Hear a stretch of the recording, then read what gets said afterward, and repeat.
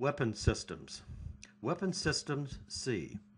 Systems include aircraft carriers. Examples include Kitty Hawk and Nimitz.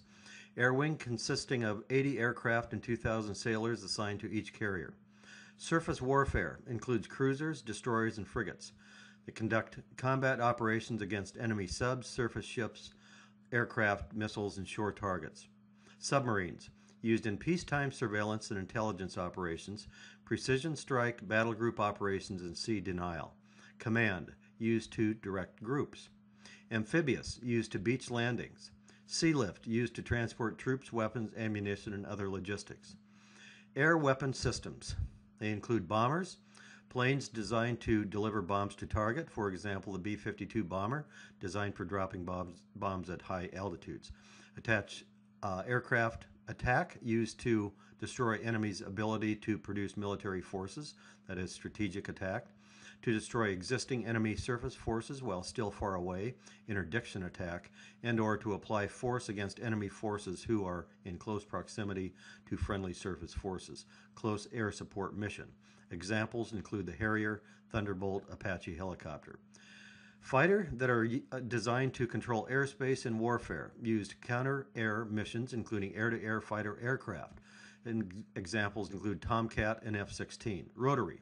Helicopters are mobile, flexible, and with rapid response capabilities. Cargo, used to transport troops, vehicles, munitions, and supplies. Examples include C 130 and C 141. Special aircraft include command planes such as a Hercules. Finally, we have unmanned, unmanned aerial vehicles, UAVs, are remotely piloted or self piloted aircraft that can carry cameras, sensors, communications equipment, or other payloads. Example is the Predator. Land and ground weapon systems.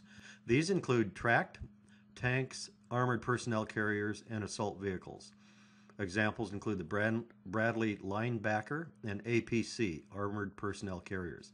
Wheeled, more mobile vehicles with mounted guns and armor, also basic transport trucks and small vehicles, Jeeps, Hummers, interim armored vehicles, and commando.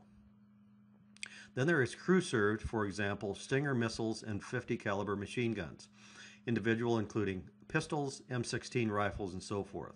Defense and countermeasures include night vision wear and protective suits. We have smart weapons, which are precision guided munitions, PGM. These are a missile, bomb, or artillery shell equipped with a terminal guidance system.